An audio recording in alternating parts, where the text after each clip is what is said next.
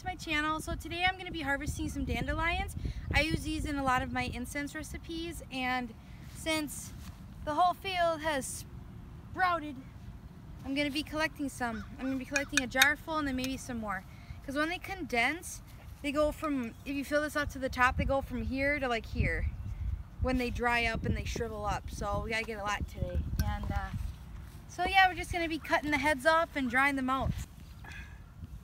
So the reason I only use the heads is because I feel that I can get more incense out of grinding the heads up than having to deal with the stem and all the issues with them because it takes forever for the, for the stem to dry out. So I'm cutting them really close to the head.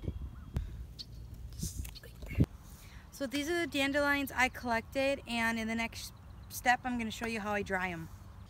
So I'm going to be putting the dandelions out in the sun for a while so they can dry. And they'll get more than four hours of sunlight per day, so they'll quicken up the drying process a little bit.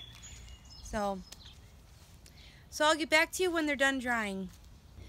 So it's three days later and I'm going to go eat the dandelions now. You can see how much they dried up. So now that they're in their dry state, um, I'm going to use my wooden pummel to kind of ground these up a little bit so I can put them in my specific jar. Just take a small handful, put it in, and with buds like this, you lightly crush. You don't, you don't go at it too hard. It should look like this when you're done pummeling it. So it's nice and loose. And you just put in your jar. So that's how I like to collect, dry, and store dandelion heads that I use for incense making.